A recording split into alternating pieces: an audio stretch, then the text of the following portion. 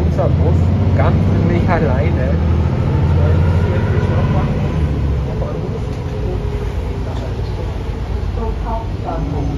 Osteingang. Es besteht Übergang zum Regional- und Fernverkehr. Ich bin der einzige. Ich bin mit dem Vorschnitt leider.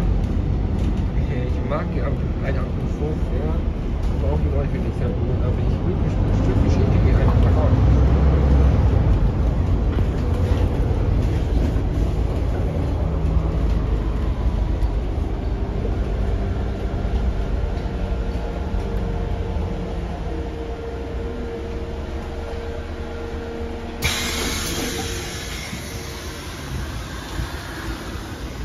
Geschafft.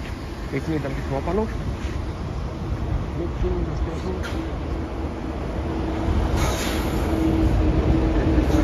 Weiter.